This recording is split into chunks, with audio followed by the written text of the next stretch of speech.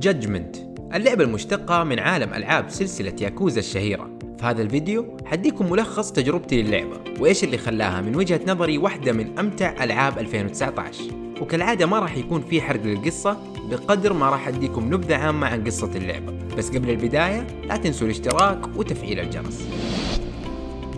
Judgment هي لعبة قصة أكشن وتحقيق من منظور الشخص الثالث من تطوير Sega وحصرية لل PlayStation 4 تجري أحداث اللعبة في منطقة كاموروتشو في مدينة طوكيو في اليابان المشهورة بالحياة الليلية والمنتشرة فيها عصابات الياكوزا.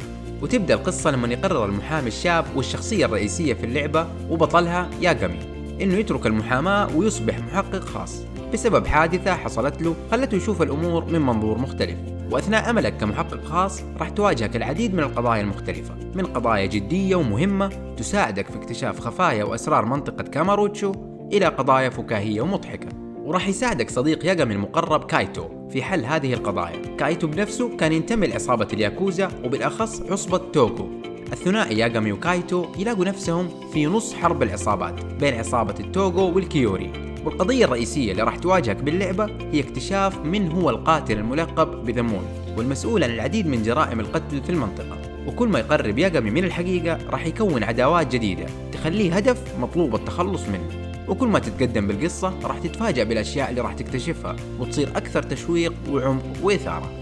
هذا بالإضافة لتواجد العديد من القضايا الجانبية الممتعة والمتنوعة بشكل كبير.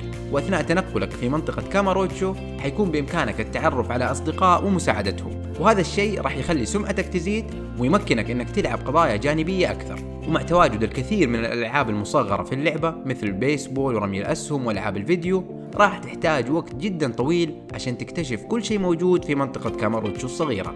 لكن الدسمة بالأحداث القضايا والشخصيات المثيرة. اللعبة تمتاز أيضا بمشاهد سينمائية مشوقة ومليئة بحس الفكاهة الياباني الجميل وتمثيل صوتي للغة الإنجليزية على مستوى عالي بعكس باقي ألعاب ياكوزا. وفيها العديد من الشخصيات المثيرة للاهتمام. أثناء حواراتك مع هذه الشخصيات في العديد من الأوقات راح يكون مطلوب منك أنك تختار الرد المناسب أو إظهار الدليل المناسب عشان تقرب أكثر من معرفة الحقيقة. طريقة اللعب تعتمد على القتال والتحقيق بشكل كبير.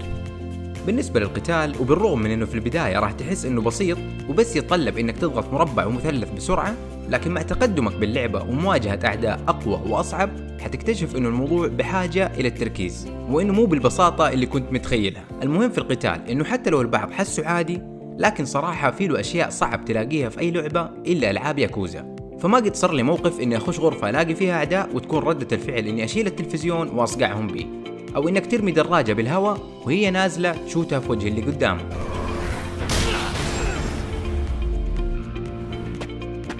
أو تقضي على واحد بأنك تحط راسه في الميكروويف وتطلب من الموظف إنه يشغله.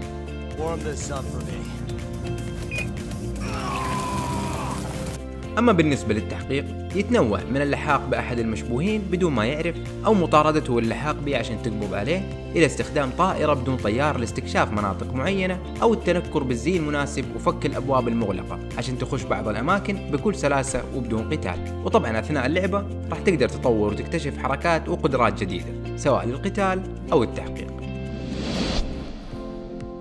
Judgment واحدة من أمتع ألعاب 2019 ومن الألعاب القليلة اللي تخليك تضحك ومليانة مشاهد ولحظات فكاهية. حصرية أخرى ناجحة لجهاز ال PlayStation 4 وسبب آخر إنك تشتري الجهاز إذا لسه ما هو عندك. أثناء لعبي لمدة 30 ساعة تقريبا اللي احتجتها عشان أختم القصة الرئيسية وجزء كبير من القضايا الجانبية استمتعت جدا بالتجربة. هذا ولسه باقي الكثير من الأحداث والقضايا اللي لسه ما خلصتها. اللعبة فعلا تحلل ال 60 دولار. بمحتوى ضخم جدا ممكن يخليك تلعب بالراحة لأكثر من 60 ساعة. بكل بساطة أي أحد يحب ألعاب التختيم والقصة راح تعجبه اللعبة.